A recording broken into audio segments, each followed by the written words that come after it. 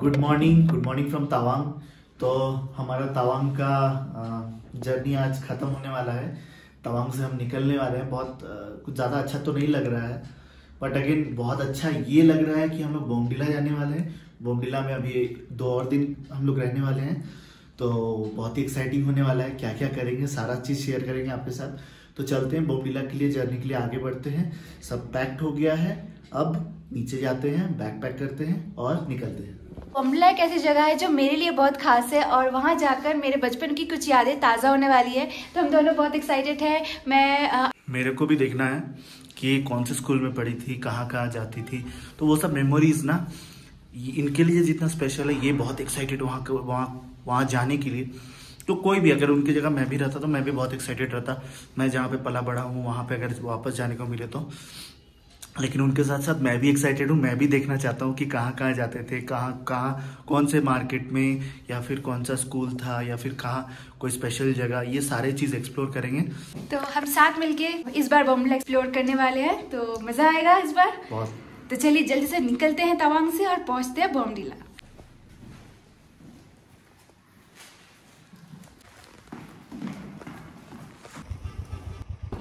तो टाइम हो रहा है अभी 8:15 और आज का जो हमारा जर्नी है ये है अप्रॉक्स 180 किलोमीटर्स का और अभी जो हमारा नेक्स्ट इमीडिएट टारगेट है वो है सेला पास पहुँचने का।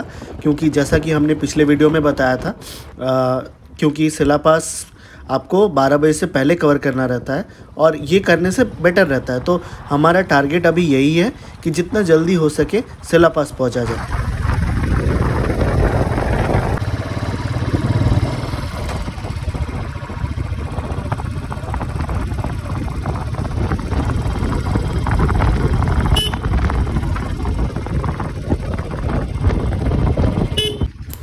तो यहाँ कंस्ट्रक्शन चल रहा है रोड का, यहाँ हाईवे बनने वाला है।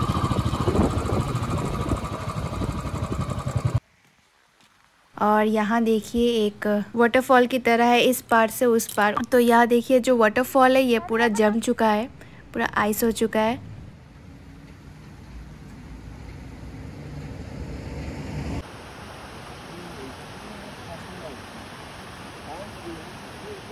और हम पहुँच चुके हैं सेला लेक। और हमें यहाँ तक पहुँचने में आज तीन घंटा जैसा लगा। अभी बज रहे इलेवन फिफ्टीन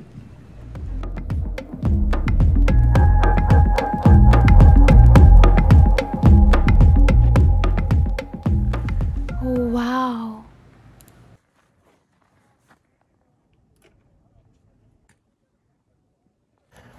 लास्ट टाइम हम लोग सेला पास जब क्रॉस कर रहे थे और सेला लेक क्रॉस कर रहे थे आपने आप लोगों को दिखाया भी होगा।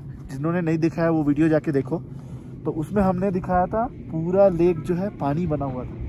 कोई बर्फ़ नहीं था बट रिटर्निंग में टाइम अभी देख, अभी देखिए क्या देख रहे हैं। अभी बर्फ़ बनना शुरू हो गया है। तो इसी से पता चल रहा है विंटर आ गया है, शायद कुछ दिनों में स्नोफॉल भी होना शुरू हो जाएगा।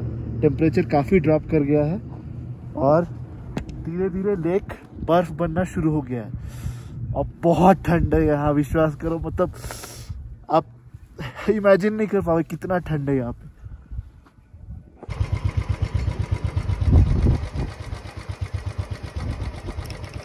तवांग जाने के टाइम पे ठंड हमें इतना ज़्यादा नहीं लग रहा था जितना आज लग रहा है हमें। तो शायद स्नोफॉल की वजह से ही लग रहा है इतना ज़्यादा ठंड। तो चलिए अभी आगे बढ़ते हैं यहाँ से।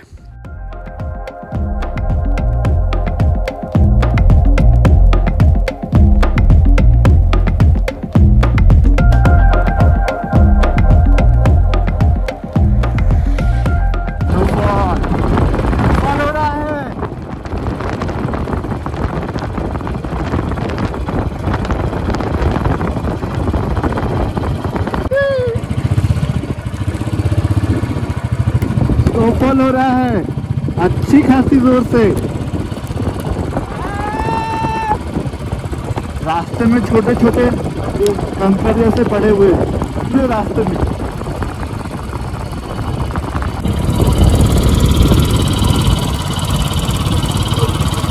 ये देखिए कितना बड़ा बड़ा स्टोन के जैसा गिर रहा है।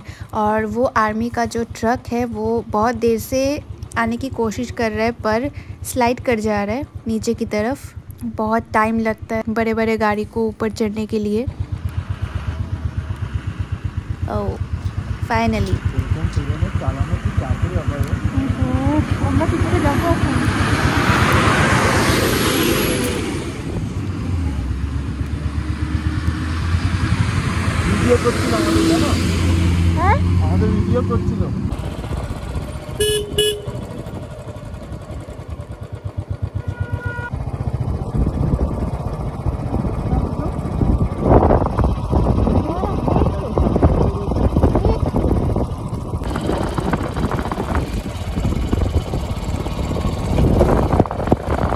नीचे देखिए उस तरफ़ धूप है और यहाँ पर बहुत ज़्यादा ठंड है और फॉगी भी है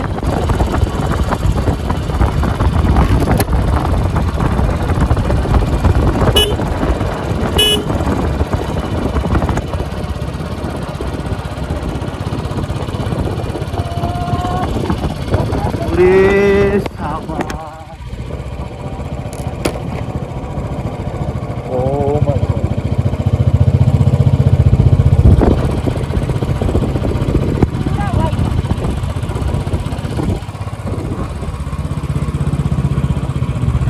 गॉड पहले हम देख के गए थे कुछ अलग ही नज़ारा था। आज कुछ अलग ही नज़ारा है। ऐसा लगता है हर दिन कुछ ना कुछ नया देखने मिलेगा यहाँ। तो यहाँ रुक जाते हैं और कुछ खा पी लेते हैं। मैं सुनाई दिया इटरनल सुनाई नहीं दे रहा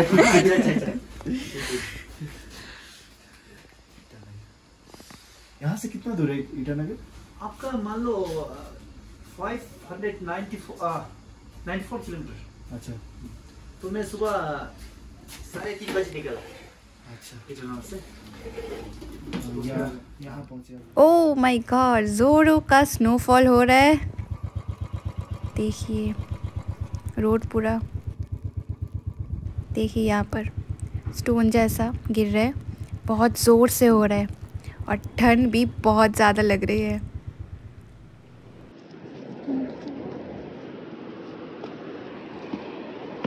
तो अभी हम लोग जा रहे हैं वॉट हॉट वाटर स्प्रिंग देखने। चलिए देखते हैं क्या मिलता है। ओ ये टेम्प्ररी क्लोज है और वन मंथ के बाद ही खुलेगा। कुछ कंस्ट्रक्शन चल रहा है। तो यहाँ पर लिखा है देखिए वाटर विद मेडिसिनल वैल्यूज़ तो इस पानी में नहाने से बहुत सारे फ़ायदे होते हैं। तो इस बार तो नहीं हुआ बाद में कभी देखेंगे। तो चलिए अभी आगे बढ़ते हैं। और यहाँ से बॉम्बला का रोड बहुत ही बढ़िया है।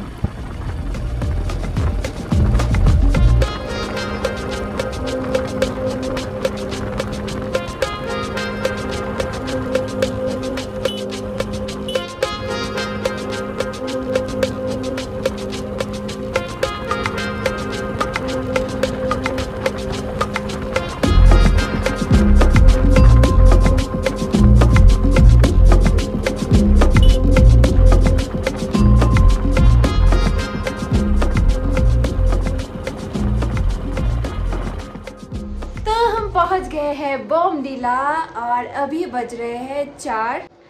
और आज का राइड काफ़ी इंजॉइंग था ठीक है? अ, क्योंकि पूरा का पूरा हिली एरियाज़ में ही था मतलब सारे माउंटेन्स पास करके था।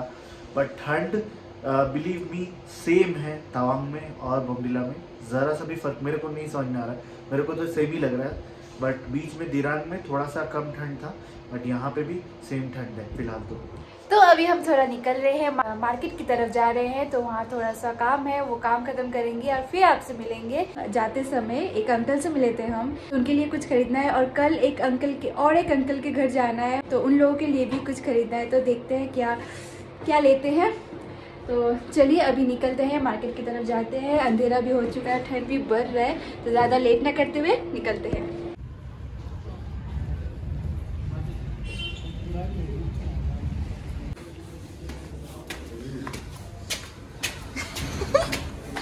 हम लोग अभी यहाँ पर मूवी देखेंगे। पता नहीं।